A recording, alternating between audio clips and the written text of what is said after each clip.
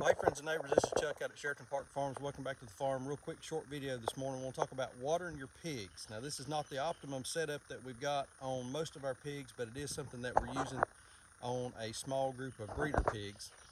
And that's a water barrel. And in this heat, summertime, you need to be watering your pigs. You need to be making sure that your pigs are getting plenty of fresh, clean water every day. Feeding pigs a slop is not going to meet their um, their water needs. These animals are about 75% water anyway, so you got to make sure you're watering your pigs. Keep them cool, keep them hydrated. You're going to be happier, they're going to be happier, they're going to grow better, to be a better quality product in the end. Water those pigs. Y'all have a good day.